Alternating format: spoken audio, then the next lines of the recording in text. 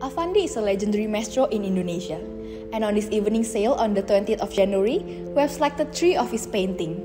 The first one here is called the Sunflower. The sunflower painting features a sun, legs, and hands. This symbol only appears in paintings that have significant story and meaning to Affandi's favorite works. And other than that, this painting also has a historic value because this painting was made in the 70s and it was his time of glory. The second painting is a self-portrait.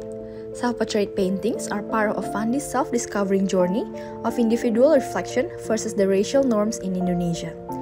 From 1940 until his death in 1990, he consistently returned to self-portrait to readjust his emotional tones. And this self-portrait painting was executed in 1980. Here, Affandi focused on the face with highly dynamic lines. His face looks straight to the viewers in a suspicious manner. Although it is not the face that matters in his self-portraits, but the emotions conveyed through his lines and strokes. The last painting that we have is called The Balinese Dancer. This painting depicts a Balinese dancer dressed in bright and colorful attire, contrasted against a green background. Through the use of bold and intense line, we can really feel the dynamic and expressive aura of the dancer. This artwork was completed in 1996, which was the peak of Affandi's career. So, for the art collectors, this is such a golden opportunity for you.